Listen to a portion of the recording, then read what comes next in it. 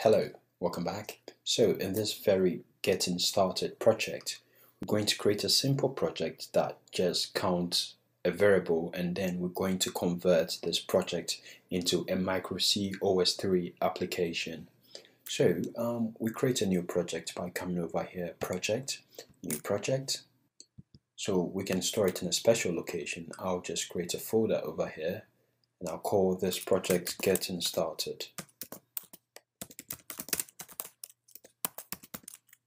Call this folder getting started and I'll call the project actually RTOS counter. It's just going to be a counter variable that is incremented in a thread. So then I'll save it. And once that is done, I'm brought to this page. Over here, I'm asked to choose my um, microcontroller board. So whichever board you have, you just search it over here. Currently, I'm using the STM32F411VET. I search over here, I select this, I click OK. Then we go to this page. This page here is for managing our runtime environment. And what we need to do is come over here, select core under CMSIS, and then under device, we select startup. And that's all for now. So I'll click OK. So once that is done, we can come here and then rename the target. My target now is STM32 F4. To rename, you just click in here once and then I just type the new name up. Then I'm going to create a new file in here. I'm going to create a .c file. So I right click and select add new item to group up. And then I select this file type and then the name of the file is going to be up like this and then now we are set to go. So this is simple, um, a very simple application which increments a global variable. So all I'm going to do is I'm going to type int main over here and then within the int main of course we're going to have our infinite loop while one. And in here we're going to have a variable which I'm going to declare over here as u int 32 underscore t. And I'm going to call this variable counter. And the reason why we have this is we've not included the standard C library. So I'm going to say include stdint.h now the error disappeared. So in here all we're going to do is say counter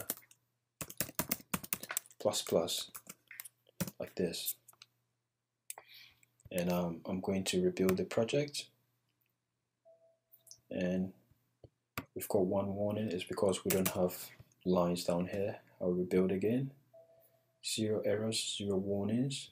And I'm going to come over here and the default frequency of my board is 16 megahertz so I'm going to set that over here.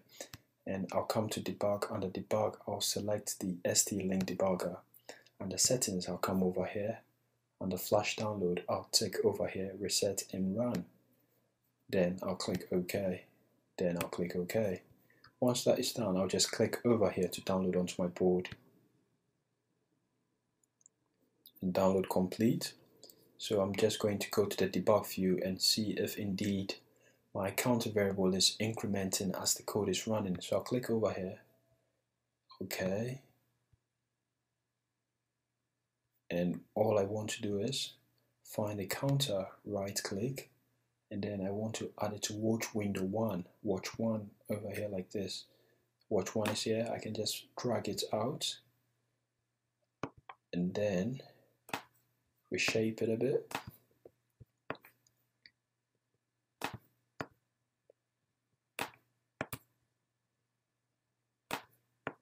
And I can right click and disable hexadecimal display. And then I can just click over here to run the code. I'll click here. And as you can see, our counter variable is incrementing. So the code is running.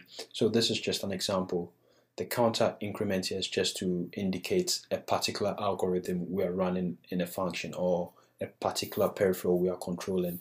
So what we're going to do is this simple application, we're going to convert it to a micro C OS3 real-time application. In the same way, rather than using counter variables, I, we could have demonstrated this using LEDs or UART data transfer or something like that. But I didn't want to get us started with initializing peripherals and all of that. So we're using a simple counter as an example. In the same way, we could have had the four different LEDs blink, but all of that will be experimented with later. Now it's just, you know, this lesson is just to introduce you purely to the kernel without any external um, peripheral initializations and all of that stuff.